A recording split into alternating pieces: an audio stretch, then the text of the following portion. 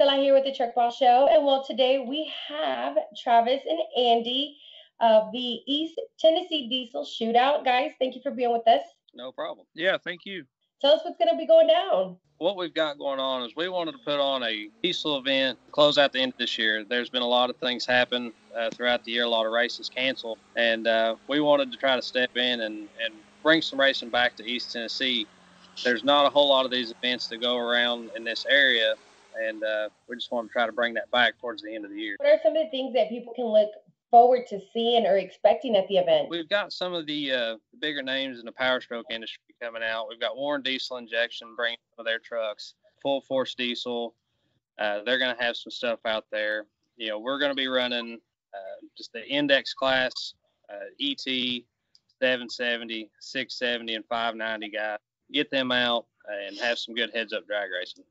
So now, how is this all going to go down on the day of the event? Is it just a day event, a couple days, or, or, or what's what's the schedule?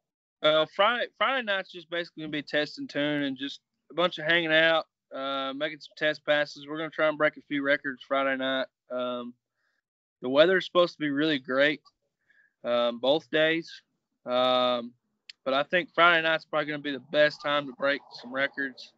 We're very neutral as far as north to south, so we're eight or ten hours away from a lot of people up north, and we're eight to ten hours away from a lot of people down south. So we're kind of in the middle of a lot of racers. Where can can the viewers or the followers uh, check you guys out? We've got a Facebook page event. Um, then I, I have a personal Facebook page for the business Powerhouse Diesel, and then he has one for CDK Performance, uh, which is the main sponsor of the event.